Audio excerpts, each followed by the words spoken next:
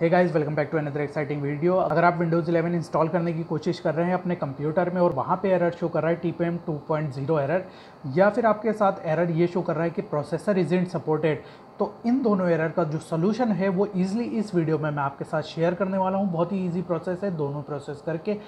आप अपने एरर जो है उसे सॉल्व कर सकते हैं। अगर आपका कंप्यूटर जो है 2017 से पुराना है तो इस वजह से प्रोसेसर इजेंट सपोर्टेड की एरर आ रही है। तो पहले इस वीडियो में मैं आपको T P M two point zero की एरर शो करूँगा, कि उसे किस तरीके से सॉल्व कर सकते हैं। फिर उसके बाद मैं आगे शो करूँगा कि प्रोसेसर इजेंट सपोर्टेड की जो एरर है, उसे किस तरीके से सॉल्व कर सकते हैं। तो चलिए बिना किसी देरी के इस वीडियो को शुरू करते हैं। अगर आप विंडोज़ 11 इंस्टॉल करने की कोशिश कर रहे हैं और आपके लैपटॉप में एरर शो कर रहा है T P M two point zero error या फिर सिक्योर बूट एरर अगर आपके कंप्यूटर में टी पी एम चिप है तो बायोस में जाके इसे आप इनेबल कर सकते हैं और सिक्योर बूट को भी इनेबल कर सकते हैं।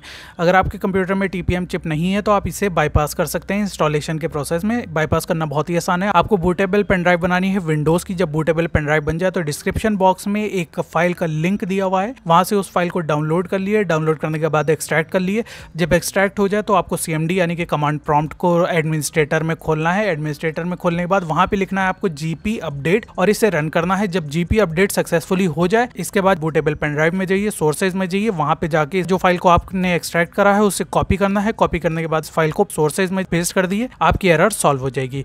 अगर आप 2017 से पहले के अपने पुराने कंप्यूटर में विंडोज़ 11 इंस्टॉल करने की कोशिश कर रहे हैं तो वहाँ पे आपको दो एरर शो कर रहा होगा। एक, प्रोसेसर नॉट सपोर्टेड और दूसरी TPM 2.0 error. Processor not supported के लिए आपको बहुत ही सिंपल सा एक प्रोसेस करना है। आपको अपनी विंडोज़ 11 की बूटेबल पेनड्राइव में जाना है, वहाँ पे सोर्सेज वाले फोल्डर के अंदर जाना है और वहाँ पे आपको एक फ़ाइल देखनी है अप्रेजरेस इस फ़ाइल को आपको डिलीट कर देना है। डिलीट करने के बाद आप विंडोज़ इलेवन का सेटअप रन करेंगे एडमिनिस्ट्रेटर मोड में। वहाँ पे आपको सबसे पहला ऑप्शन शो करेगा change how setup download updates इस पे क्लिक करना है, उसके बाद यहाँ पे नॉट नाउ का ऑप्शन सेलेक्ट करना है, फिर नेक्स्ट करना है, फिर आपकी विंडोज़ 11 इंस्टॉल होने का जो प्रोसेस है, वो शुरू हो जाएगा और विंडोज़ 11 बिना किसी परेशानी के इंस्टॉल हो जाएगी।